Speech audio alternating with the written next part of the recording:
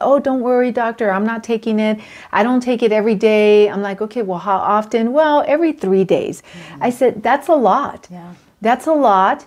And, and, you know, that could ultimately cause some harm, some injury to the lining of your intestine that can cause, you know, actually, she ended up having some inflammation in the esophagus and stomach. And I told her, this could be from mm-hmm. the ibuprofen that you're taking. She goes, Yeah, but I only take it two, three times a week.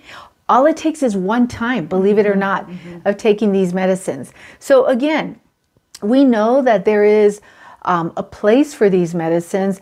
Um, but but you have to understand that there are potential adverse effects. I mean, some of the other things that can be caused by the NSAIDs, um, NSAIDs can also there could be a potential for for heart attacks, stroke.